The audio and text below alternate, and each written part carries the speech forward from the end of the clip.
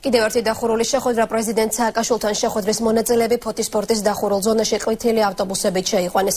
შეხვედრა მედიისთვის ამჯერადაც დახურული აღმოჩნდა იმის გამო, რომ მოქალაქეები პორტის ტერიტორიაზე ავტობუსებით შევიდნენ, ჟურნალისტებმა მათთან გასაუბრებაც ვერ მოახერხეს. უცნობი დარჩა ისიც თუ რა მიზნით მიიპატეჟეს ისინი პრეზიდენტთან შეხვედრაზე. ჟურნალისტებთან სახელმწიფო დაცვის თანამშრომელმა მხოლოდ ის აღნიშნა, რომ ეს შეხვედრა ყველა მედია საშუალებისთვის დახურული იყო.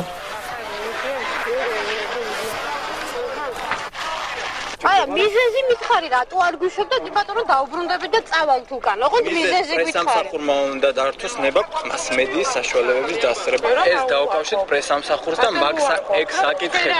არ ვიცით ეგ საკითხები განიხილეთ პრესამსახურთან. პრესამსახურთან წარმომადგენლები. ხო შეგდონდებით